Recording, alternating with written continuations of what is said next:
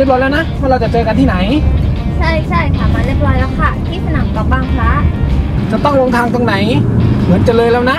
ตอนนี้จะถึงพัทยาแล้ว เนี่ยคุยกันเพลินเลยอะ เราเลยทางลงมาแล้ว แล้วเราจะกลับรถตรงไหนได้บ้างคะ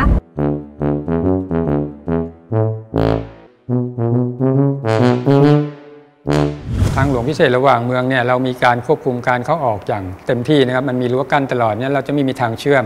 ส่วนจุดตัดที่เกิดขึ้นเราก็จะมีออกแบบก่อสร้างเป็นทางแยกต่างระดับทั้งหมดนั้นเราจะไม่มีการเปิดจุดเกาะกลางใดๆทั้งสิ้นสำหรับกลับรถนะครับแต่แต่ถ้าท่านต้องการกลับรถ ท่านจะต้องออกตามจุดที่เรากำหนดก็คือโดยส่วนใหญ่ก็บริเวณทางแยกต่างระดับออกจากระบบถนนของเรา แล้วไปวนกลับเข้ามาใหม่ครับเพื่อความปลอดภัยเพราะทางหลวงมอเตอร์เวย์เนี่ยใช้ความเร็วสูงมาก แต่เราเองเราเรามีการออกแบบจุดกลับรถใต้สะพาน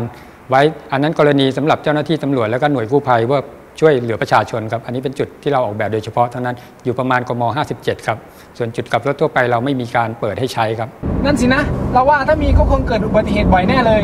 ว่าไหม ใช่ เพราะฉะนั้นในการขับรถเนี่ย เราจะต้องมีสติจะได้ไม่หลงและไม่เลย เข้าใจไหม ทีหลังก็อย่าชวนคุยสิจ้าสะดวกรวดเร็ว ปลอดภัย เมื่อท่านใช้เส้นทางมอเตอร์เวย์